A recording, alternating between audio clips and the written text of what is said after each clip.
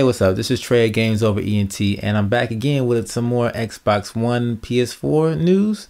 Um, every video that IGN is putting out, uh, put out yesterday on the Xbox One, is motivating me to talk more about it.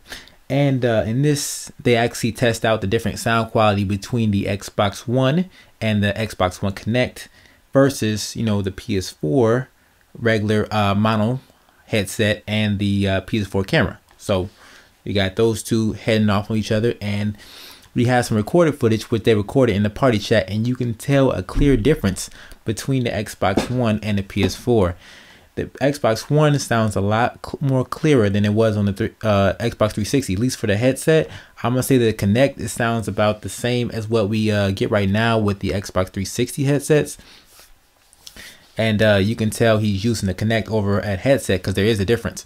And on the PS4 side of things, it just sounds, it doesn't sound good. That mono headset that they provided is really cheap and uh, it showcases in the audio quality.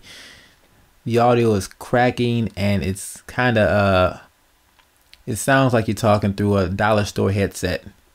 Yeah, I'm not lying. If you want to, go ahead and check out the uh, the link in the description because I'm gonna have the video right there.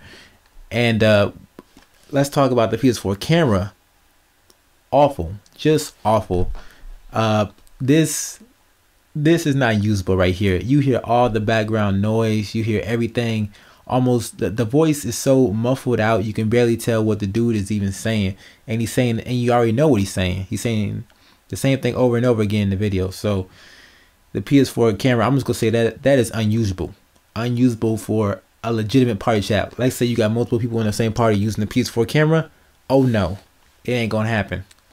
So the Xbox One definitely got the heads up on the uh, standard audio quality.